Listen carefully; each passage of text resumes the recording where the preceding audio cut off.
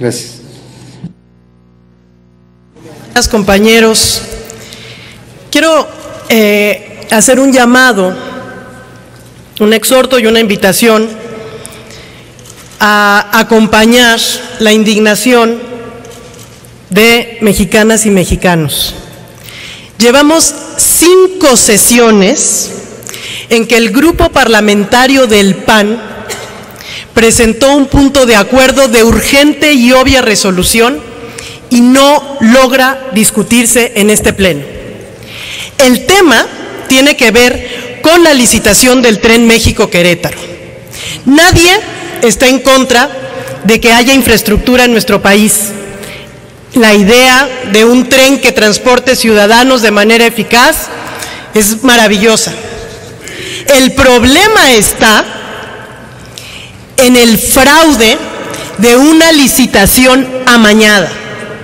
Tenemos ayer al presidente Peña Nieto hablando en contra de la corrupción y un fraude gigantesco ante los ojos de los mexicanos.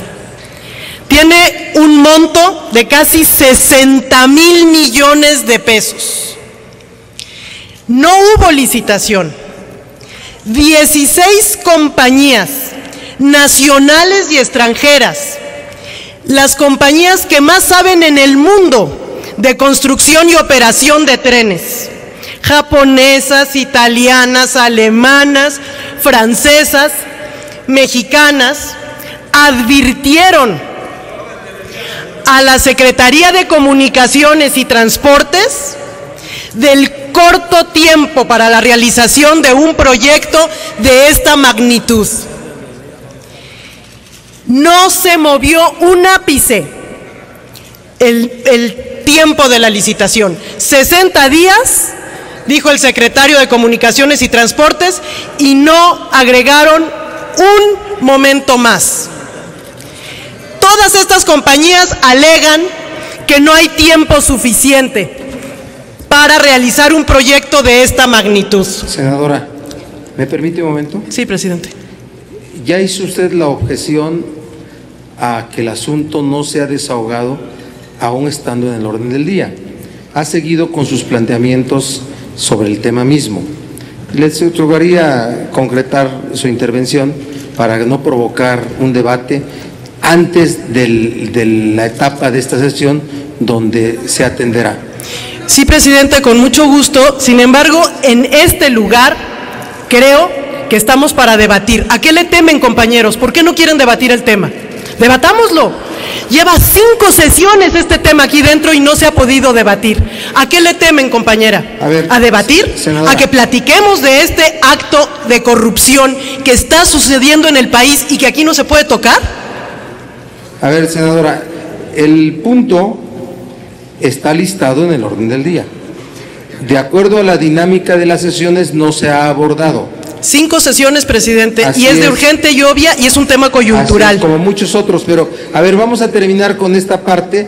eh, el, eh, sonido en el escaño de la senadora Graciela Ortiz para que no eh, haga Señor presidente, me parece Alusión. que todos los grupos parlamentarios tenemos asuntos que se han planteado como puntos de acuerdo que no han sido desahogados por la propia dinámica del Senado de la República. No, no le tenemos ningún temor, ningún temor a debatir sobre temas de corrupción. Estamos listos para ello. El tema es que este no es el momento procesal oportuno y me parece que se debe de respetar entonces el- eh, la forma en el que el reglamento establece el inicio de las sesiones. Yo le suplicaría al señor presidente de la mesa directiva se ponga orden, porque si no, entonces todas las sesiones van a estar a contentillo de quien decida eh, brincar Compañera, de la entonces modifiquemos de- nuestra forma de discutir. Permítame, senadora. El reglamento del Senado. Muchas gracias, señor presidente. A ver, sonido en el escaño del senador Francisco Domínguez. Gracias, presidente. Yo, yo aplaudo el tema que está exponiendo mi compañera senadora Marcela Torres, es de importancia a lo que nos ha faltado este Senado de la República, al fiscal anticorrupción, que no lo tenemos. Y yo le pido, presidente, que dado que es un tema de mucha importancia, le pido una rectificación de quórum, porque el tema es tan importante y veamos cómo está este Senado de vacío, bajo la responsabilidad que todos saben que hoy es martes y hay sesión. Le pido una rectificación de quórum, presidente. El sonido del escaño del senador Javier Corral. Muchas gracias, presidente. Como usted bien lo señalaba al principio de la sesión, más que votar el orden del día, lo que es evidente aquí es una petición de la senadora Marcela Torres Peinberg para debatir un tema que el día de ayer se concretó, al menos en el tema de la adjudicación. Nos referimos a la licitación del tren México-Querétaro, que ha generado eh, una gran impugnación. Hemos escuchado a la senadora Graciela Ortiz decir que tienen toda la disposición para debatir este asunto. Como la adjudicación se hizo ayer y, la, y el planteamiento original, no me interrumpa, respete por favor, respete a sus compañeros. Eh, como la, como la, el planteamiento original del punto de acuerdo ha sido desfasado por el hecho de la adjudicación del día de ayer, pues por lo pronto proponemos al grupo parlamentario del PRI y a la senadora que tantas ganas tiene de debatir el tema, que pudiéramos priorizarlo como usted en ocasiones lo ha formulado y que se pudiera someter a la consideración del Pleno que este tema sea el primero en discutirse, no importa que los términos planteados originalmente por la senadora Torres Peinberg se hayan desfasado, podemos actualizar los contenidos de la propuesta con punto de acuerdo a partir del debate que se privilegie en esta sesión. Muchas gracias. Le ruego a la senadora Torres Peinberg concluya su intervención y después formulamos una propuesta de desahogo de esta petición. ¿Te parece? Adelante, senadora. Bueno, el, el asunto, como lo menciona el senador Corral, eh, el, asunto de la licitación que nunca se dio.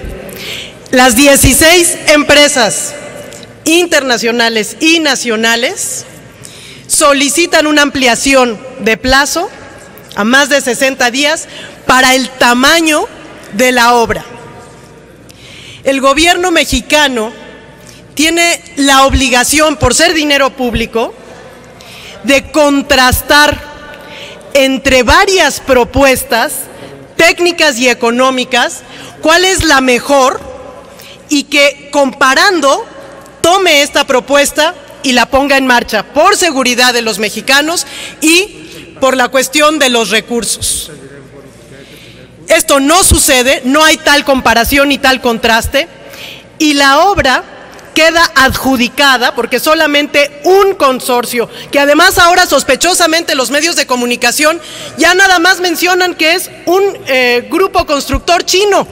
Ya no se mencionan las otras dos empresas mexicanas que entraron en ese consorcio y que van a utilizar estos recursos.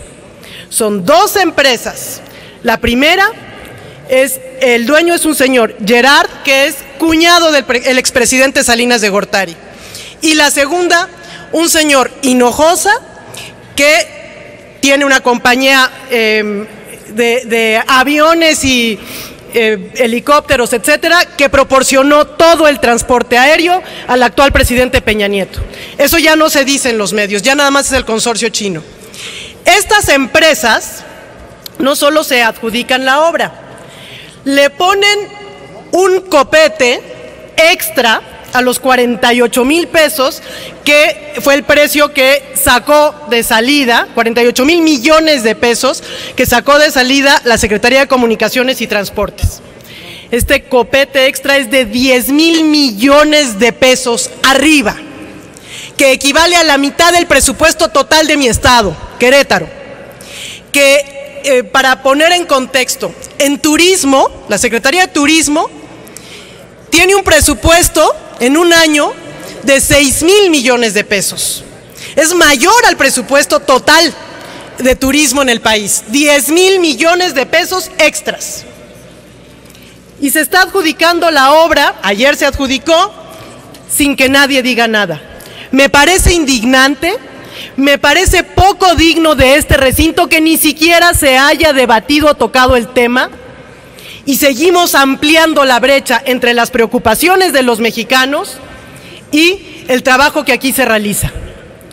Hago un exhorto, presidente, para que se toque este tema el día de hoy, se discuta y además, a nombre de mi grupo parlamentario, solicitar a la Cámara de Diputados que no se otorgue un centavo a esta obra en tanto no se aclare la opacidad en la que fue llevada a cabo este, esta adjudicación, porque no se puede hablar ya de una licitación.